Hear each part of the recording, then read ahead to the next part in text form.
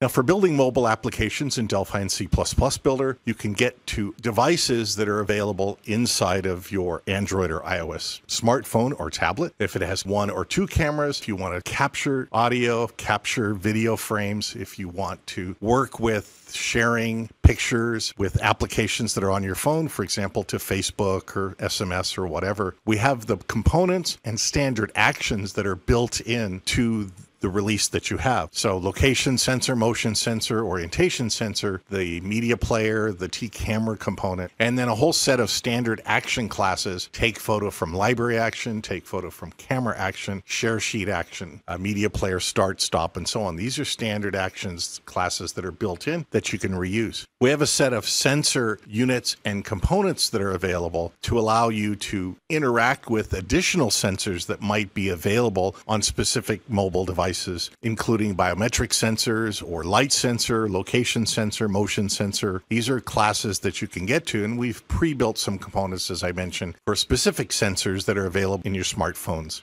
Most mobile devices include a built-in GPS antenna as well as additional subsystems to determine your location. Access this location information, all you need is a location sensor component. Go to the on location changed event handler, and in here, we're past a two parameters that are location coordinates. So if you look at the new locations, latitude and longitude, you're able to determine the device's current location.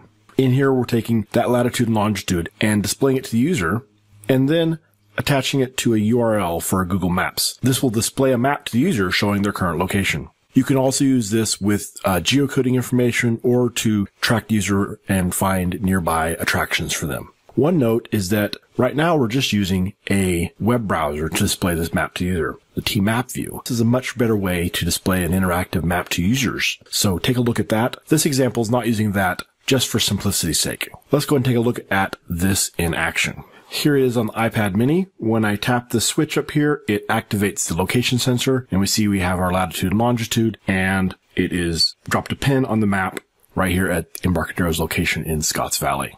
Here it is on Android. Again, we'll activate the location sensor and this time I'll put down the satellite view and we can zoom in and see the offices here in Scotts Valley.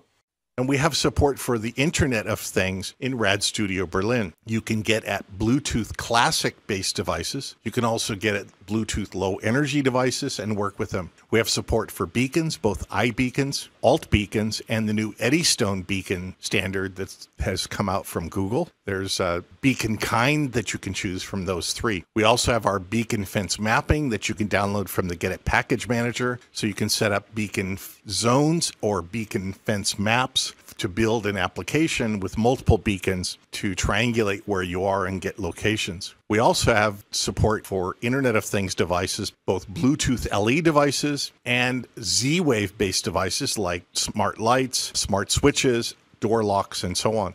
And you'll see that I've installed through GetIt Package Manager uh, the Kwikset Lock and the Aeotec Smart Switch, as well as I've got some beacons set up and, and a beacon map so let's go into our IDE and take a look at some of the things that are available. Under Tools, uh, GetIt Package Manager.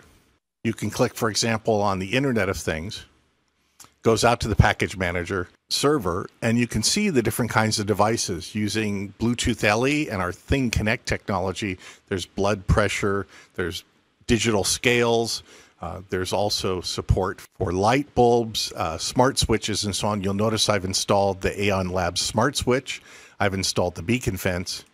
And over here, I've also installed uh, the Kwikset Deadbolt Internet of Things device that I have running. I've also got a heart rate monitor, both a generic heart rate monitor, and I've got the Polar H7 heart rate monitor installed. And then those show up down here into the Internet of Things category and see that I have the, the beacon zone fencing and beacon map fencing. I've got the Kwikset lock, the smart switch. I've got the polar heart rate monitor, Wahoo digital scale, and other devices, generic heart rate monitors. So we can drag and drop those into our applications. When you download the Internet of Things devices, you're given sample applications. Uh, it uses the EOS smart switch component where we're going to give it an IP address and also the device number of the connected device, in this case, the smart switch. And then there's other tabs that are available for looking at the status of the smart switch and also reading the different properties. So, for example, when you've last connected to that device and so on. Each demo is there and available for you. Let's take a look at the demo in action.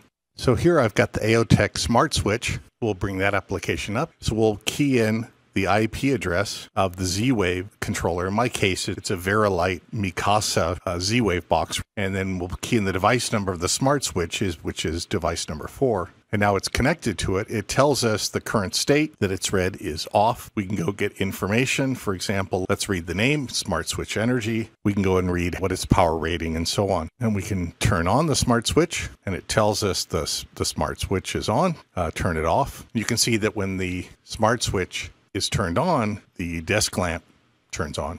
And when I hit off, it turns it off. Bring up the Kwikset deadbolt key and its IP address. It's connected to the same uh, Vera box and its number is device 5. So we're connected to it. it. The status is it's currently unlocked. So we can go and lock it and then unlock it again. Go to the info, uh, read the device name, Kwikset lock. Let's look at the battery level. I've got 80% battery left taking a look at the beacon fence map, we've got four different beacons that define our our department, and we define the GUIDs and the major and minor values and the location XY displacement of those beacons inside of the whole map. This is the map of the department store. We've got the, the toy zone, we've got a household goods area, and we've got a, a cereal area. And then we've got some path nodes so as the customer walks around the, the department store, they can be guided to different zones or areas that they're interested in. And then on the beacon fence map, we set different properties, fencing option, uh, map options, for example, to color the beacons to highlight where we are inside of, of the beacon fence. And then we've got the particle filter, which lets us calculate where we are inside of the beacon fence as far as location is concerned. Two of the events that we have hooked in this case, one is on zone enter and one is on zone exit. So if we enter the zone, first thing we're going to do is just see if we're in the cereal zone. And if we are, we're going to use the Vera Aeotec smart switch. We're going to set the switch on property to one, which will turn the light on. And then when we exit the zone, we're going to set the switch on property to zero, which will turn the light off. And now let's take a look at the demo in action using the beacon fencing and the thing point thing connect components that are part of RAD server. Okay, the app has started and now here I am inside of our department store walking in and we're going to come near the cereal. The light comes on. We've entered the zone and then as I move back and out of the zone, the light goes off again. Let's take a quick look at that one more time. I move into the zone and the light comes on. And then as I move out of the zone, uh, the light will go back off again. So that's how easy it is to use pre-built components and samples that come out of GetIt Package Manager to get started programming with the Internet of Things in the devices that you have or the beacons that you have to get yourself started doing mobile application development. The power of components and the power of sample code to get you started very fast.